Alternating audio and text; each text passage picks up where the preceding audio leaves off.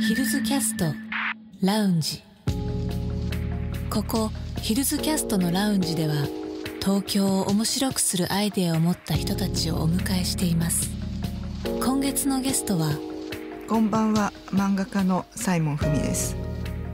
私はあのたまたま18歳で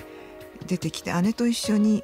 三鷹中央線の三鷹の駅のそばで暮らしたんですねそれが私にとっての初めての東京でで三鷹から自転車に乗って吉祥寺の井の頭公園まで遊びに行ってでその井の頭公園が東京のイメージだったんです私は。でなぜかって言いますと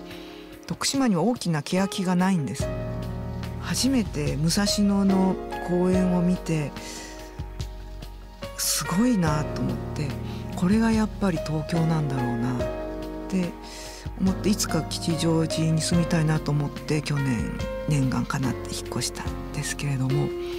木が全然違いますし土の色が徳島は赤茶けてるんです。で東京の土が真っ黒なのと水の匂いとやっぱ木がやっぱり東京は違うと思いまし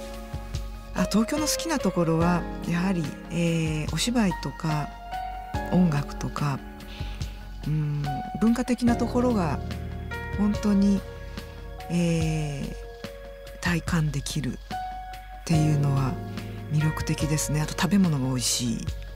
やっぱり都市としての東京の魅力は世界一だと思いますけれども。この CM はポッドキャストでも配信しています。また読めるラジオのページもご用意しています。森ビルのウェブサイトヒルズキャストへどうぞ。東京をもっと楽しみませんか？森ビルです。